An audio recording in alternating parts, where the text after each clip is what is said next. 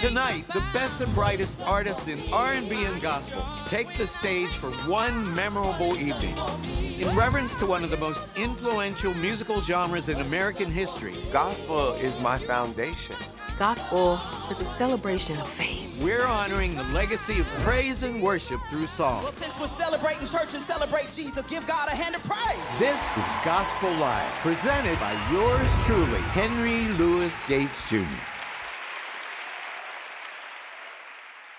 Ladies and gentlemen, please welcome Erica Campbell.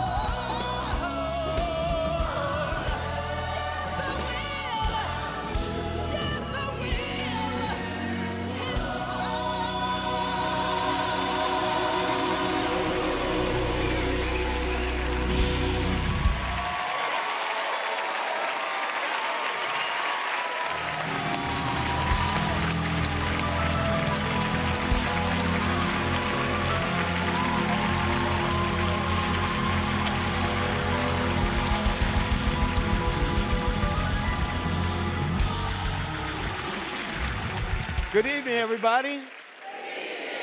Let the church say amen. Welcome to Gospel Live. My name is Henry Louis Gates Jr.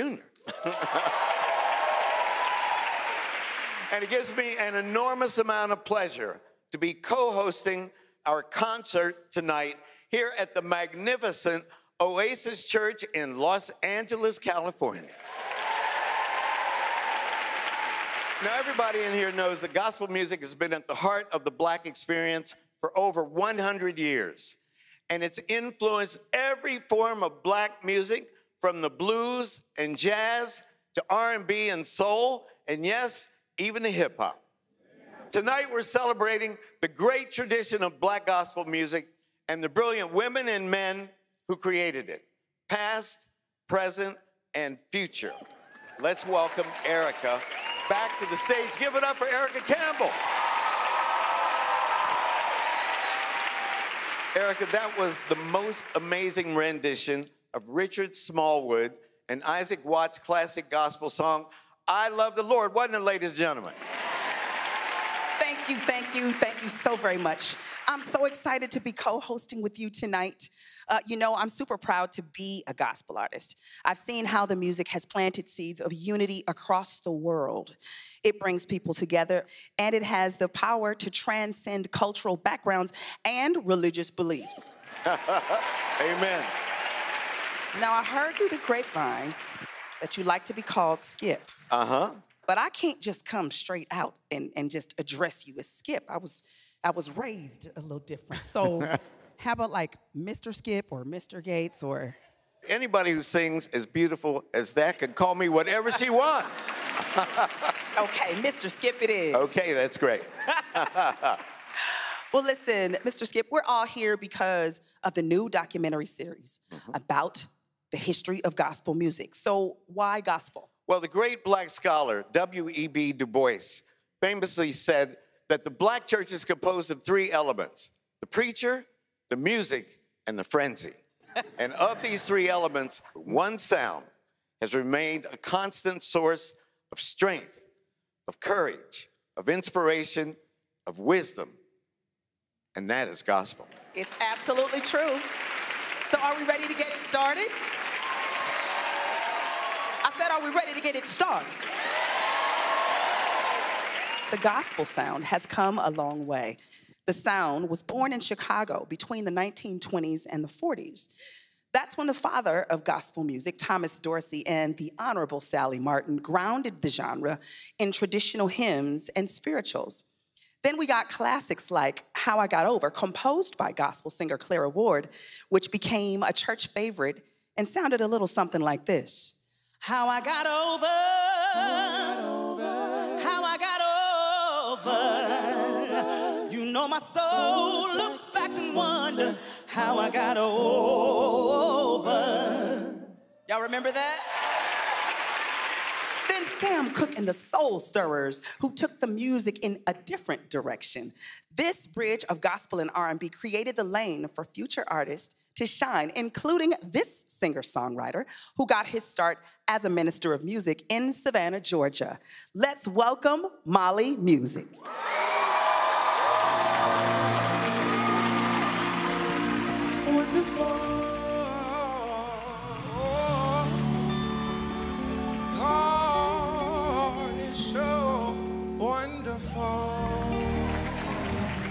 So wonderful.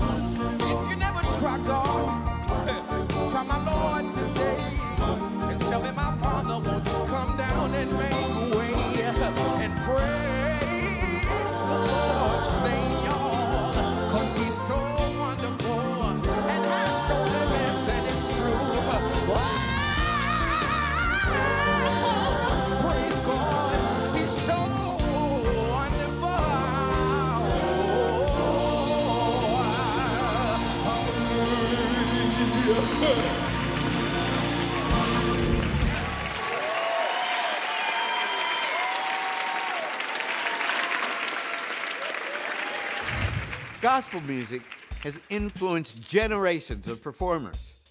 And the greats of the past are more than just inspiration, they're considered royalty. When I think of gospel royalty, I think of Mahalia Jackson, the Clark sisters. Aretha Franklin to me. She could do some gospel, man.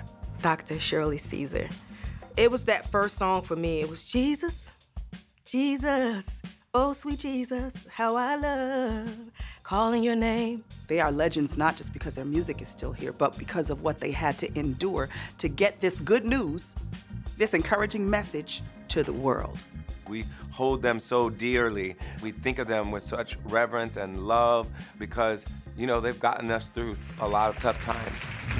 As a young girl, the greats were in my household. My mom played the piano in church, and my dad directed the choir. To me, they were rock stars. And once I watched the people be moved by the power of God, I knew that gospel music was my calling as well.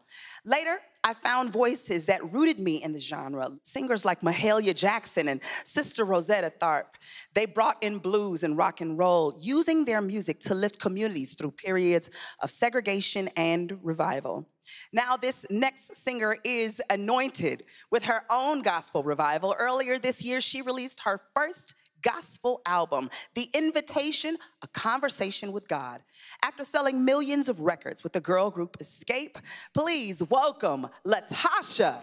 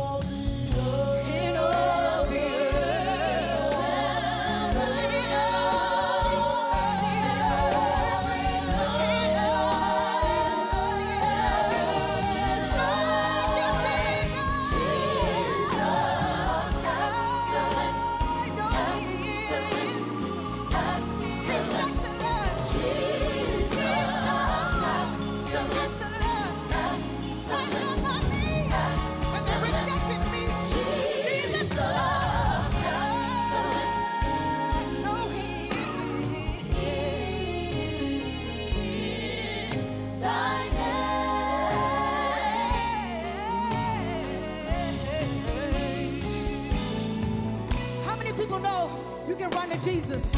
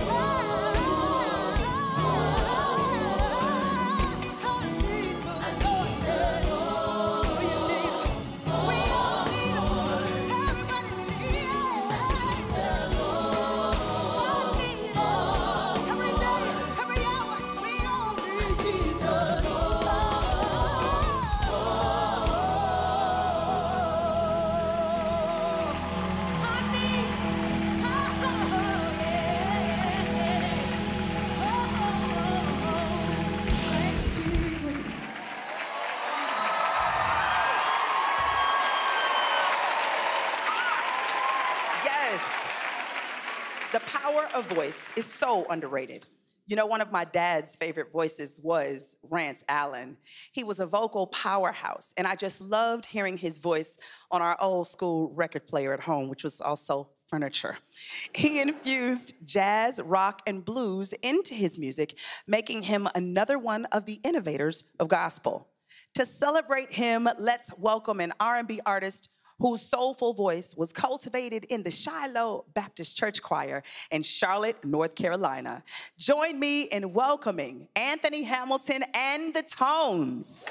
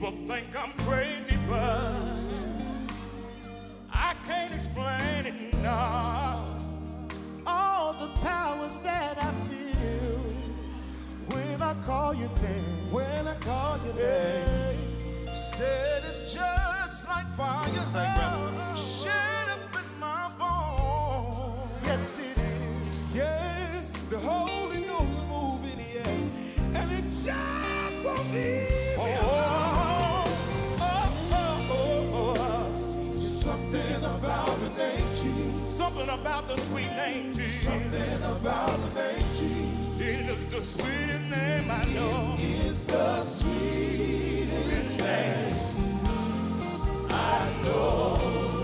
Oh, how I love the Oh, name.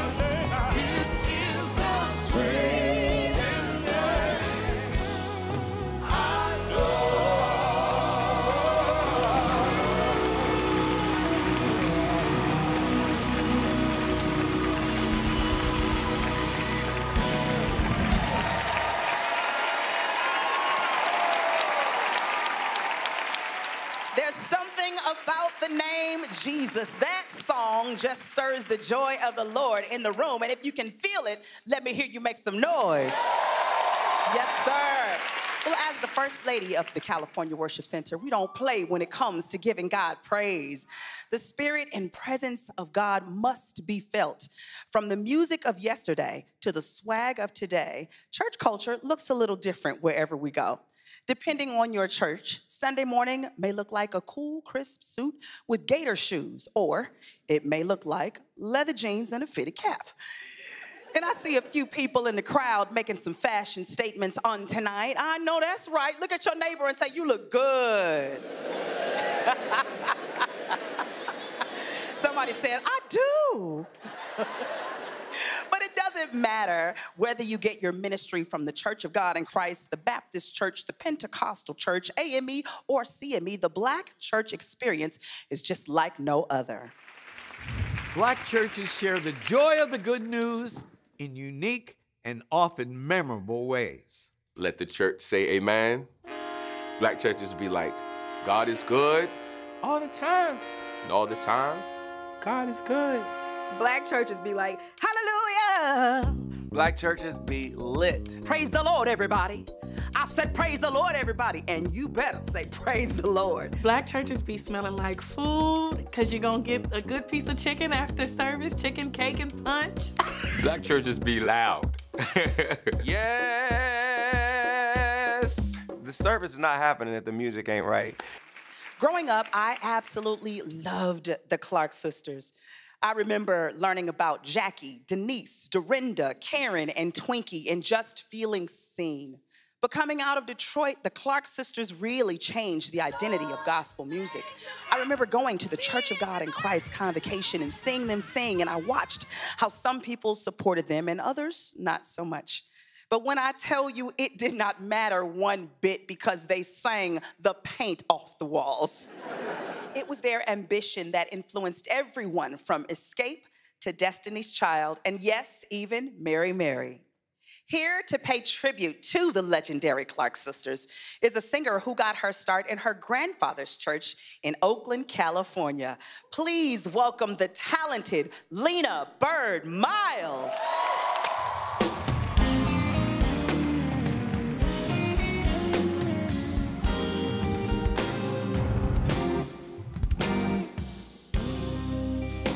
Brought me through hard trials.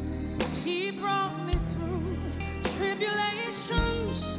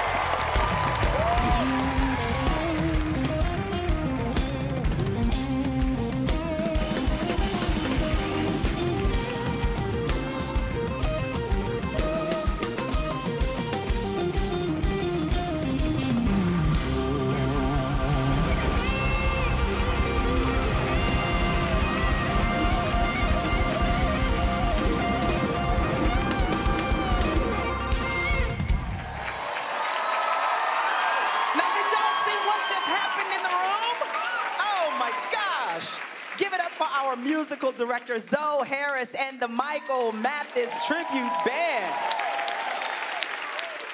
That was You Brought the Sunshine, which was inspired by Stevie Wonder's Master Blaster. And that is a perfect example of how gospel and R&B music blend together. Matter of fact, I see someone who, who knows a little thing or two about gospel and R&B. Plus, he's the pastor of the California Worship Center. It's my, my very handsome husband. Hey, baby. I mean, hey, pastor. I mean, Hey, baby. Hey. I mean, hi, Warryn. Oh, you guys are here? Oh, you're here? Oh, excuse me.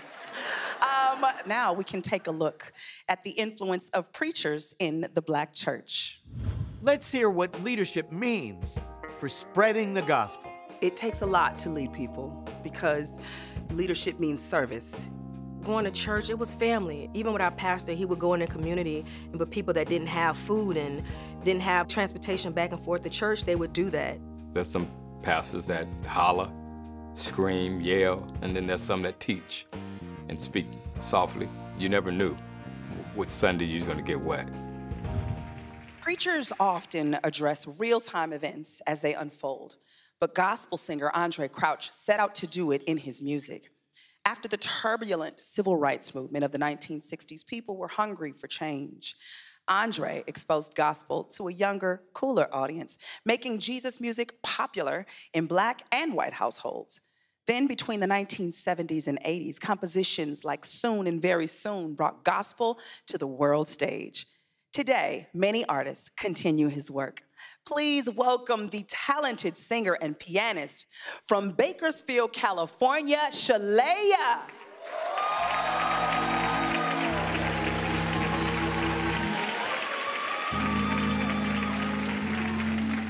We're gonna go way back on this one. I'm thinking about grandma right now.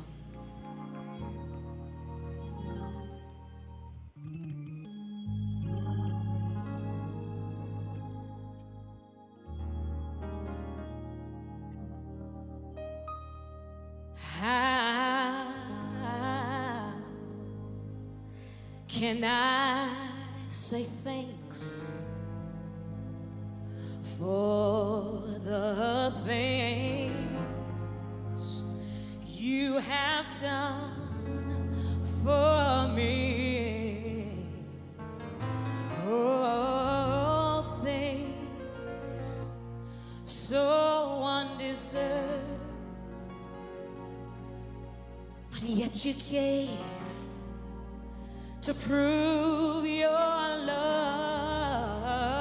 for me. The voices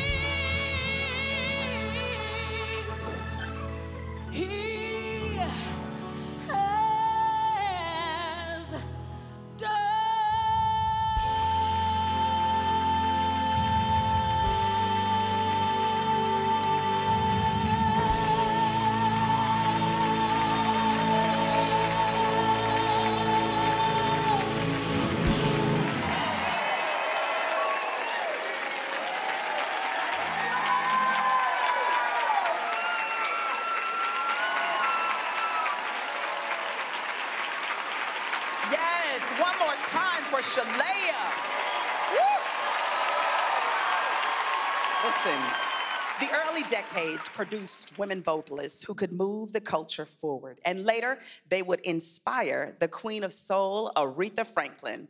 Aretha transformed traditional church hymns into heart filled soul ballads like the classic Precious Lord, Take My Hand, a hymn created for us by us. A staple in gospel's catalog, this song carried us through moments of despair and today still gives us a place of refuge.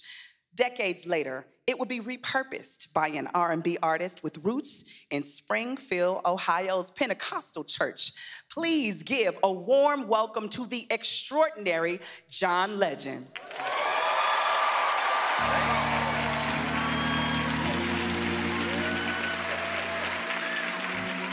Good evening, everybody.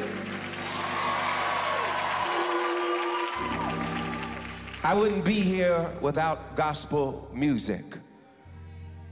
I wouldn't be here without my grandmother, Elmira Lloyd. She was the daughter of Bishop Ralph Bass, the wife of suffragan Bishop Raymond Lloyd, and the organist of our church, El Bethel Temple. I learned to play gospel music from her. And I wouldn't be the artist I am without her inspiration, without all the love and music and legacy that she poured into me. She's no longer with us, but I believe she's looking down. And I want to dedicate this song to her.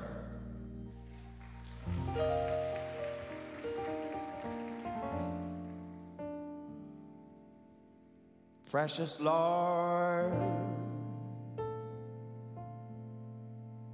Take my hand, lead me on, let me stand. I am tired, I am weak. I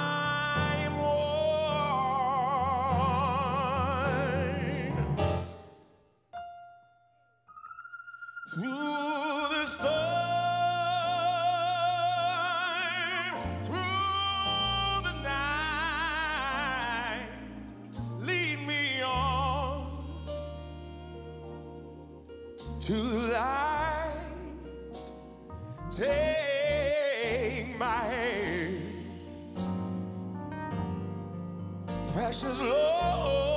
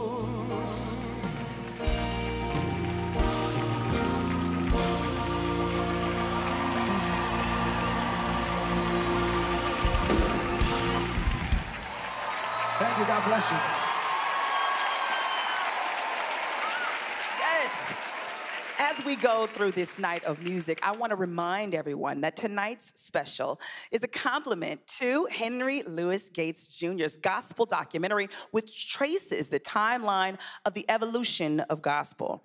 Like the 1990s, an era that marked a distinct separation of hip hop and gospel until one man changed all of that Kirk Franklin. The music video Stomp revolutionized gospel sound, and his success has opened the door for the next generation of gospel artists like our next performer.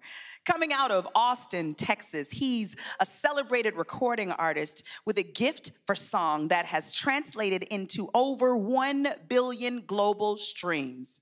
He's here to put a modern spin on a legendary classic. Please welcome my friend Tauren Wells.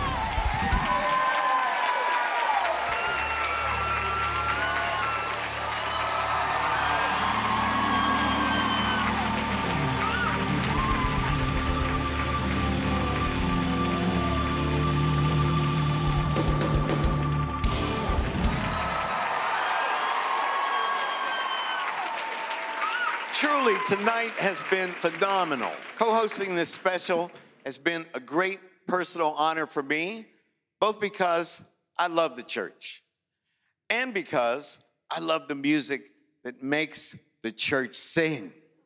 And it's been amazing to see gospel continue to expand from generation to generation. Just in the last 20 years, we've seen gospel reach new heights. From Yolanda Adams performing at WrestleMania to my sister and I performing at the Super Bowl. Gospel is everywhere. Amen to that. Let's thank all the incredible artists and musicians who've shared their gifts of song with us this evening, ladies and gentlemen, and to everyone who helped to make this night so very special. And last but not least, I want to thank the great Erica Campbell for hosting this special with me. Thank you so much. Oh, it has been an amazing night, and we couldn't have done it without our fantastic musicians, Zoe Harris and the Michael Mathis Tribute Band. Just amen. fabulous. So now, let's have a congregational moment where we can all sing together. Can we do that? Let's do it. To take us out in praise, ladies and gentlemen, let's stand on our feet and welcome Lena Byrd Miles back to the stage to take us home. Come on, everybody, let's get up. Let's get up and give God some praise together.